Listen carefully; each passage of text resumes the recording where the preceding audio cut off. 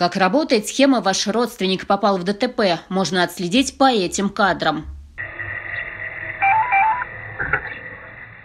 Алло. Я поднимаюсь, замечательно. Ага.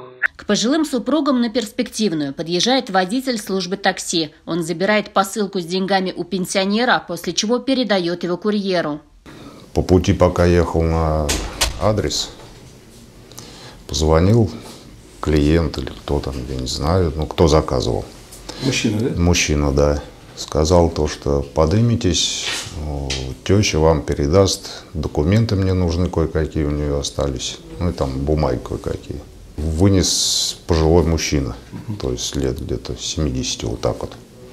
Коробочка, вот сантиметров 20 на 10 на 10 такая, ну, картонная. Перемот... Она была запакована перемотная? Перемотная скотчем стального цвета. Скотч. Курьер, 19-летний житель заводского района, нашел объявление о работе в одной из социальных сетей. Предложение показалось заманчивым и ему, и 22-летнему товарищу. К обязанностям приступили в тот же день. Мы вместе забирали посылки эти.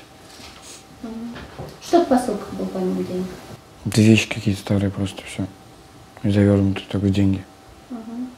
Что вы с ними делали? Ну, забирали этот пакет, отходили, разворачивали, считали деньги, шли в банкомат, клали. 28 тысяч мы заработали. 15 первый раз, потом 13.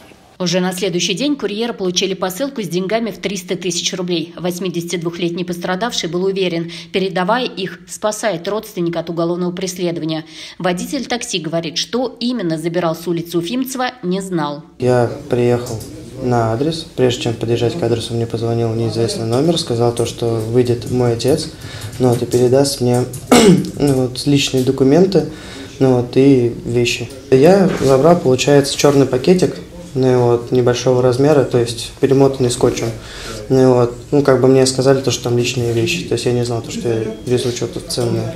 По версии полицейских, подозреваемые могут быть причастны к двум фактам обмана пожилых жителей поселка Солнечный. Сумма ущерба составила более 400 тысяч рублей. Роли каждого саратовца в этой схеме будет дана правовая оценка, согласно нормам Уголовного кодекса. Эллада Абжалимова, Андрей Багаев. Дежурная часть «Саратов».